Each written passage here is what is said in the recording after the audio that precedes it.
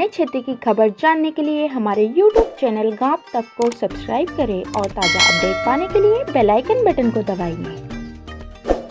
विकास यात्रा के साथ साथ रोज़गार दिवस प्रदेश के कई जिलों में मनाया गया। इसके तहत खंडवा स्थित गौरीकुंज सभागृह में रोज़गार दिवस का आयोजन किया गया। मुख्य अतिथि के रूप में कार्यक्रम को संबोधित करते हुए महापौर श्रीमती अमृता यादव ने हितग्राहियों को बधाई देते हुए कहा कि आज के युवाओं को स्वरोजगार पर ही ज़्यादा ध्यान देना चाहिए। जिससे उन्हें रोज़गार के साथ साथ अन्य लोगों को रोज़गार देने का भी अवसर मिलेगा। जिला पंचायत अध्यक्ष श्रीमती कंचन तन्वे ने भी हितग्राहियों को संबोधित करते हुए मिलने वाले बैंक ऋण से अपने रोज़गार को उच्च स्तर तक ले जाने के संबंध में कहा। कार्यक्रम में प्रभारी महाप्रबंधक, जिला व्यापार एवं उद्योग केंद्र खंडवा श्री टी आर रावत ने रोज़गार मेले की विस्तृत जानकारी दी। इसके अलावा एलडीएम ने हितग्राहियों को लोन की स्कीम एवं योजनाओं की जानकारी दी। माननीय प्रधानमंत्री जी ने या मुख्यमंत्री जी का निरंतर प्रयास रहता है कि जो नई पीढ़ी आगे आने वाले समय में हमें अधिकांश नौकरी की तरफ़ निर्भर ना रहे, वह भी अपने स्वयं का व्यवसाय कर सके। इसके लिए माननीय मुख्यमंत्री जी हो, प्रधानमंत्री हो, निरंतर प्रयासरत रहते हैं। उसी के आगे कार्यक्रम में उन्होंने रोज़गार योजना चलाई, जिससे कि यदि जिसको स्वयं का व्यवसाय करना है, वो स्वयं के व्यवसाय के लिए ऋण ले कम दरों पर ऋण ले और अपना स्वयं का व्यवसाय करे। वह खुद भी अपना रोज़गार चलाए और कई नए लोगों को रोज़गार दे सके। ऐसी माननीय मुख्यमंत्री जी, प्रधानमंत्री जी की योजना है कि हमारे, यदि युवा पीढ़ी का विकास होगा तो निश्चित ही हमारे देश का भी विकास होगा। ऐसे मुख्यमंत्री जी, प्रधानमंत्री जी को हमारी तरफ़ से बहुत बहुत धन्यवाद बहुत बहुत साधुवाद।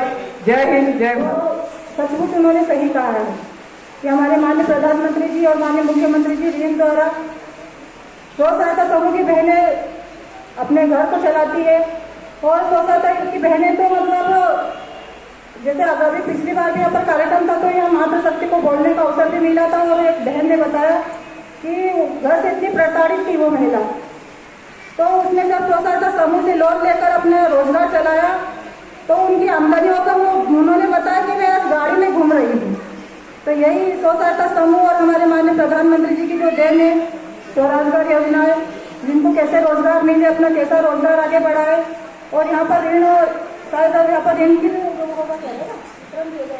आप सभी को बहुत बहुत शुभकामनाएँ बधाई। यहाँ पर अभी सभी को हितग्राहियों को ऋण वितरण भी किए जाएँगे यहाँ पर। खंडवा ज़िले के विभिन्न क्षेत्रों से आए हितग्राहियों को बैंकों के माध्यम से, स्वरोजगार माध्यम के ऋण वितरण का कार्यक्रम आयोजित खंडवा ज़िले में किया गया था, जिसमें नौ हज़ार अठारह हितग्राहियों को निन्यानवे कर, निन्यानवे करोड़ छिहत्तर लाख इक्यावन हज़ार रुपये का ऋण वितरण किया गया, जिसमें विभिन्न प्रकार की योजना, नगरीय प्रशासन की प्रधानमंत्री स्वनिधि योजना, राष्ट्रीय शहरी आजीविका मिशन, स्वरोजगार योजना ग्रामीण विकास विभाग की एस एस जी लिंकेज योजना, जिला व्यापार एवं उद्योग केंद्र की मुख्यमंत्री उद्यम क्रांति योजना, प्रधानमंत्री रोज़गार सृजन एवं अनुसूचित जनजाति की संत रविदास अंबेडकर योजना आदि, आदिवासी विकास निगम की भगवान बिरसा मुंडा, स्वरोजगार योजना, टंटिया मामा आर्थिक कल्याण योजना, मत्स्य विभाग की केसीसी और पशु, पशुपालन विभाग के केसीसीओ का वितरण का कार्यक्रम आयोजित किया गया था, जिसमें किया गया जय माँ चंडी मैया।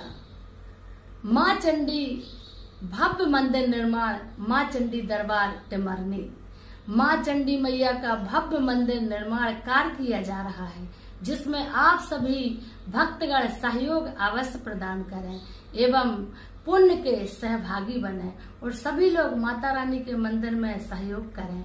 जय माता दी।